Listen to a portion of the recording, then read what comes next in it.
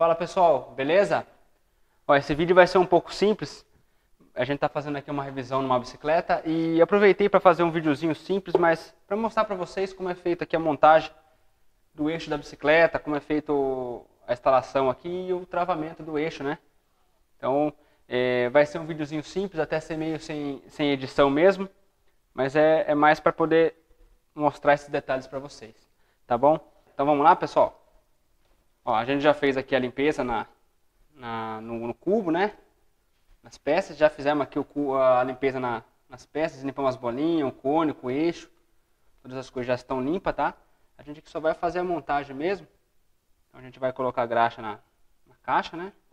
O pessoal pode usar uma seringa, conforme cada um tem aí, para colocar graxa, pode ser bisnaga. no meu caso eu prefiro com o dedo mesmo, tá? Espalha a graxa.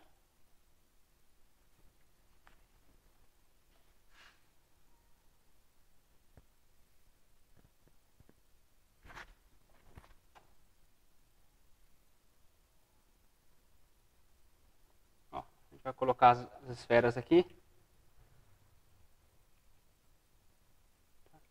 O tanto de esfera que vai, vai ser colocado, isso depende de, de cada cubo, tá? Então não tem um padrão para se falar, é 10, é 11, é 9. Isso depende muito de cubo para cubo. Tá? E isso, o ideal é você, na hora de desmontar, verificar as bolinhas, as esferas, né? E já conferir quantas esferas são cada cubo e o estado de cada uma. Maioria, maioria dos cubos aqui, o Shimano, alguns cubos importados, eles são 10 esferas, né? Então a gente vai manter esse padrãozinho aqui, que né, no caso de desmontar tinha 10 esferas, então a gente mantém o mesmo padrão. Tá? O ideal é sempre que a, a esfera não fique é, muito colada. Tá? Às vezes cabe até mais uma esfera, dependendo do cubo. O vão fica muito justo e as esferas não rodam é, entre si. Ela acaba trava, travada, né? E o eixo em si ele roda meio que desgastando a bolinha. Então é sempre ideal que ele tenha uma folguinha entre uma e outra. Tá? Essa folga não pode ser muito grande, mas é o básico mesmo, o mínimo possível, para que as, as, as, esferas rodem entre si. Certo? Então a gente já colocou ali, são 10 esferas, né? Ó, 3, 6, 9, 10. E agora eu vou completar com a graxa por cima, a gente fazer a, o outro lado também. Vou virar aqui agora. Já passou graxa, né?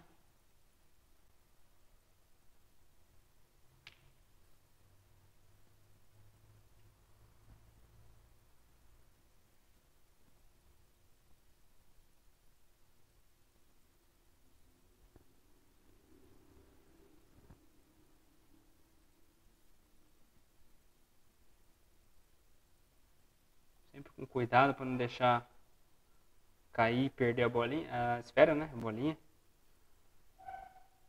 Coloquei todas elas. Opa, caiu uma aqui. Vou pegar uma ferramenta para a gente conseguir tirar ela. Tá lá. Colocar a graxa por cima de novo.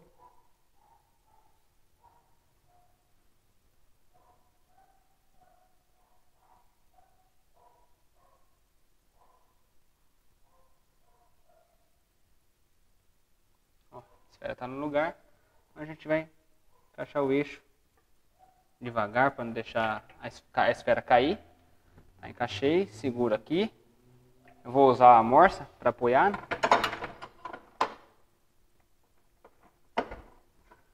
Ó, tá feito. A gente vem com o cônico, tá? Vai o cônico do outro lado. A parte que encosta nas esferas é a parte de dentro, né?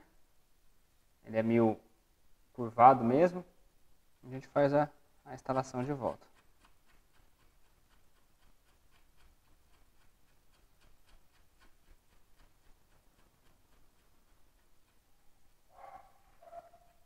Eu vou colocar a contraporta.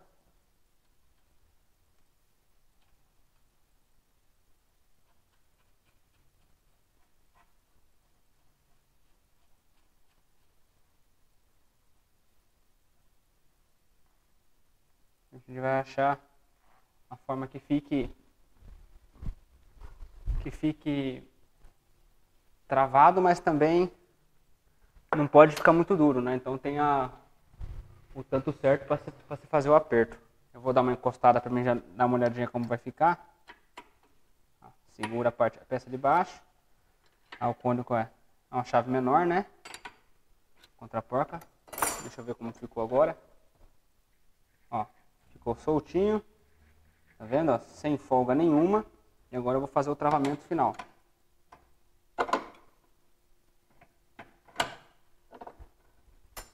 Venho com a chave aqui. Seguro e aperto. Certo? Tá feito o travamento. O eixo ficou certinho. Sem enroscar, sem folga. Também não pode ficar muito duro esse eixo, porque se ficar muito duro ele vai desgastar as esferas é, mais rapidamente, né? Então ele tem, sempre tem que ficar livre, porém sem folga, né? Isso é sempre interessante. Tá bom? Aí, pessoal, é simples, tá? Mas às vezes você quer fazer uma manutenção na sua casa aí, fica a dica para vocês. E é um passo simples, só preciso das ferramentas. Aqui nesse caso usei uma chave 17, uma chave 13 para contraporca, né? A chave mais fina para pregar o, o cônico que vai atrás da porca, então uso uma chave um pouco mais fina. Tá? E sempre atenção às esferas, tá pessoal? Porque isso varia de cubo para cubo. Não adianta você procurar na internet ah, quantas esferas vai no cubo dianteiro ou traseiro, porque isso varia muito de, de cubo para cubo, de marca de cubo, de tamanho de bacia, e isso faz uma diferença. Então sempre se atente a isso. Fechou, pessoal? Valeu!